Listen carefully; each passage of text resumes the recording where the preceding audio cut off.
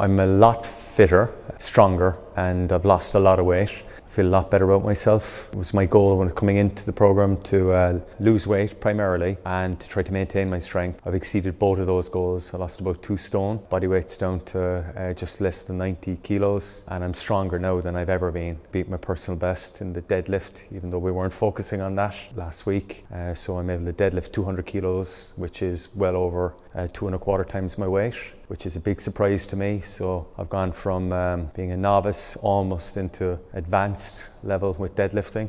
Delighted. It's a fantastic program. Recommend it to anybody.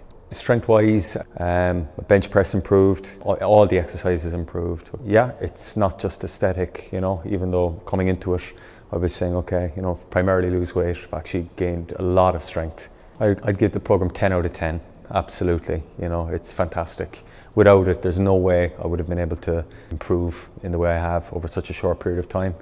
I think it would have taken me two or three years, you know, so I'd, I'd highly recommend it for anybody. It's, a, it's an accelerated program. It's very systematic, it's, very, it's well thought through, it's designed, uh, a lot of thought's gone into it. It's taught me a lot of discipline when it comes to weights, okay? Um, I would have been lifting weights for many years. I've improved an awful lot. Uh, ben is uh, very technical. Uh, he's a details guy. He trains a lot himself, so he doesn't just uh, talk the talk, he walks the walk. And uh, he's definitely, um, by far, the best um, personal trainer, stroke coach that I've ever met. Just turned 43 this year. I had a goal in my in, in my mind that if I could get close to what I was like when I was 30 years old, I'd be happy. I think I've exceeded that, you know. So uh, I'm very happy. It's better than buying a motorbike and getting a pink mohawk.